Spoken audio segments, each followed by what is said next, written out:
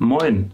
Heute schauen wir uns mal den Kopf unserer E-Gitarre ein bisschen genauer an. Im Speziellen diese kleinen Rädchen auf der Rückseite, die sogenannten Locking Tuner oder Locking Mechaniken.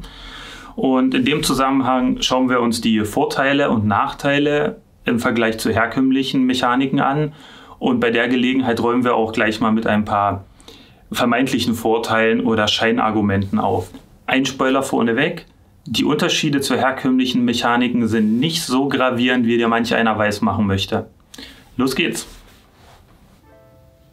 Schauen wir uns erstmal an, was Locking Tuner überhaupt sind. Locking geht ja zurück auf Verriegeln. Ja, also wir haben hier einen Riegel mit verbaut und im Vergleich zu herkömmlichen Mechaniken, wo wir ja eben einfach nur ein Loch haben, wenn du jetzt mal darauf achtest, wenn ich jetzt hier hinten dran drehe, dann siehst du, schließt sich dieser Riegel. Ja, dieses Loch schließt sich, kann hier wieder aufdrehen. Und damit wird halt bewirkt, dass wenn ich hier eine Seite durchschiebe, dass die damit einfach festgeklemmt werden kann. Ja, und das ist eigentlich auch der einzige Unterschied zu herkömmlichen Mechaniken. Was das letztendlich bedeutet für das Seitenaufziehen und so weiter, das schauen wir uns gleich nochmal genauer an. Welche Unterschiede gibt es denn sonst noch? Also zunächst einmal, wiegen Locking-Mechaniken ein bisschen mehr als herkömmliche Mechaniken. Ist ja auch logisch, hier ist mehr Metall in den Mechaniken verbaut. Angeblich hat das auch Auswirkungen auf den Sound, was ich jetzt weder belegen noch groß nachvollziehen kann. Also die Unterschiede werden wirklich marginal sein. Also da würde ich mir jetzt keine Sorgen machen.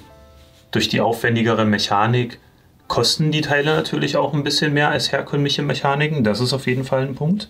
Die Frage ist dann natürlich, lohnt es sich, danach Ausschau zu halten, wenn du eine neue Gitarre kaufen willst? Oder wie manch einer sogar seine Gitarre mit solchen Tunern dann nachrüsten möchte. Also meiner Meinung nach ist der größte Vorteil, dass man die Seiten schneller aufziehen kann. Ich kann dir das ja mal kurz demonstrieren. Es funktioniert im Wesentlichen so. Ich führe wie üblich hier einfach eine Seite ein, ziehe die schon mal ein bisschen straff, schraube auf der Rückseite ähm, das Rädchen einfach zu. Zack, schön fest. So, und das Einzige, was ich dann noch machen muss, ich drehe die Seite fest, bis, klar, sollte natürlich auch vernünftig über den Sattel laufen. Ich drehe die Seite jetzt einfach nur noch fest. So, jetzt habe ich das auf dem, jetzt habe ich die Seite auf ein hohes E gestimmt und du siehst, wir haben jetzt hier eine halbe Wicklung. Das ist eigentlich, eigentlich hätte ich sie vorher sogar noch ein bisschen straffer ziehen können. Und das war es im Prinzip. Ja, es ist super schnell, easy, absolut kein Thema. Und jetzt wird noch oft das Argument rangezogen, diese Mechaniken sind viel stimmstabiler. Und ich glaube, das ist einfach nur ein Vorurteil, was darauf beruht, dass viele Leute gar nicht wissen, wie man Seiten vernünftig auf herkömmlichen Mechaniken aufzieht, denn viele Leute machen den Fehler, den ich auch lange gemacht habe. Also ich löse die Seite jetzt erstmal wieder. So, ich habe jetzt hier unten das Rädchen gelöst. Das heißt, die Seite kann jetzt hier auch schön durchflutschen. Viele Leute machen das so, die ziehen halt ihre Seite hier durch, lassen, lassen die sehr, sehr locker, ähm, knicken die jetzt am Ende um und drehen die dann fest, sodass die Seite im Prinzip mehrere Wicklungen ähm, auf diesem Sockel hat und das war's. Ja, und kein Wunder, wenn du halt hier viel ähm, Material, wenn du viel Seite um diesen Sockel hast, dann ist das natürlich potenziell Material, was sich verziehen kann, wenn du Bendings machst oder wenn du dein Tremolo intensiv einsetzt. Ja, dann kann es schon mal sein, dass sich dann hier hinten das Material nachzieht oder wenn du das Tremolo wieder locker lässt, dass es dann nachgibt und es hier hinten immer so ein Spiel gibt, was deine Stimmstabilität negativ beeinflusst. Also, wenn du herkömmliche Tuner hast, solltest du natürlich auch die Seite relativ ähm, straff ziehen, dann diese halbe Umdrehung zurückgehen, unter der Seite durchführen. Ich hoffe, du kannst es jetzt sehen. Ich, hier drunter durch.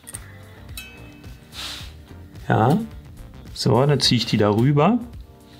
Und wenn ich jetzt die Seite einfach festziehe, ich habe unten nicht das Drehrädchen festgestellt, und wenn ich jetzt hier einfach weiter kurble, dann zieht sich die Seite automatisch, wird die, also die wird dann automatisch verklemmt, wie so ein, wie so ein Knoten. Hoppla, die liegt wieder nicht auf dem Steg. Zack.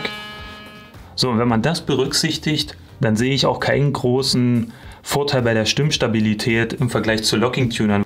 So, jetzt hat die Seite eine knappe Umdrehung durchlaufen. Also es ist nicht so super viel mehr wie mit den Locking-Tunern. Und das macht auf die Stimmstabilität wirklich nur einen minimalen Einfluss. Wenn du dann aber, wie gesagt, hier mehrere Wicklungen hast die sich dann türmen und dann manche Experten, vermeintliche Experten, anfangen zu sagen, wie du die Wicklung zu legen hast und so, ist meiner Meinung nach Schwachsinn. Ja? Also entweder du machst es so mit diesem, nennen wir es mal Knoten, oder mit den Locking-Tunern, die beiden Varianten, das nimmt sich nichts. Nur nicht vergessen, die Seiten auch schön einzudehnen. Das ist auf jeden Fall unabhängig von den Mechaniken immer sehr, sehr ratsam.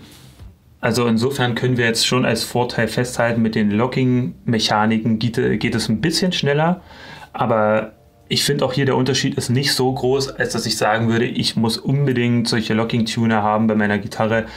Ähm, ansonsten bin ich verloren oder verschwende unglaublich viel Lebenszeit. Ich meine, klar sollte man seine Seiten regelmäßig wechseln und da kommt dann mit der Zeit was zusammen. Kleinvieh macht ja auch Mist, aber es ist jetzt nicht so gravierend, als wenn man jetzt hier sich eine halbe Stunde Zeit sparen würde. Was ich auch noch gelesen habe, ist, dass bei manchen herkömmlichen Mechaniken dieser Sockel so komisch geformt ist, dass die Seite beim Aufziehen drüber rutschen kann. Das habe ich jetzt selber auch noch nie gehabt. Vielleicht einfach nur Glück gehabt bei der Gitarrenwahl, ich weiß es nicht. Ähm, das bleibt dir natürlich bei Locking-Tunern erspart. Sehe ich jetzt aber auch nicht als großes Problem.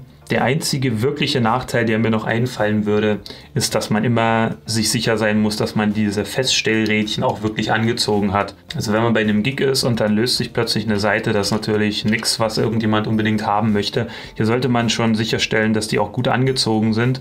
Also jetzt nicht mit einer Zange anbrummen, aber schön handfest und bei mir hat sich da auch noch nie was von selbst gelöst. Also fassen wir noch mal kurz zusammen. Die Locking Tuner sind im Vergleich zu herkömmlichen etwas teurer, die wiegen ein bisschen mehr. Du hast ein bisschen Zeitersparnis beim Seitenaufziehen. Stimmstabiler sind sie höchstens ein kleines Mühe, weil man sich ein bisschen Wicklung spart, aber es ist, würde ich auch, ist nicht der Rede wert, meiner Meinung nach. Und wenn du eine Gitarre suchst, die keine Locking Mechaniken hat, da würde ich mir darüber keine Gedanken machen. Das ist auch nichts, wo ich jetzt Hand an meine Gitarre anlegen würde, wenn sie die nicht hat. Es sei denn, du wechselst jeden Tag dreimal deine Seiten und denkst, die Zeitersparnis ist so groß, dass du das unbedingt haben möchtest. Also wenn du auf der Suche nach deiner Traumgitarre bist und du hast eine gefunden, die alles hat, nur eben keine Locking-Tuner, dann würde ich da auch kein großes Ding mehr draus machen. Darauf kannst du durchaus verzichten. Und ich muss auch sagen, wenn meine Gitarre die nicht gehabt hätte, wäre es mir auch egal gewesen. Das ist ein schönes Plus gewesen, aber das war nicht ein wesentlicher Grund, mich für diese Gitarre zu entscheiden ja, das soll es auch schon gewesen sein. Ich hoffe, das Video hat dir ein bisschen was gebracht. Schreib es mir gerne in die Kommentare, wenn du denkst, ich habe Blödsinn erzählt oder falls du das anders siehst. Vielen Dank fürs Zuschauen und bis zum nächsten Mal. Ahoi!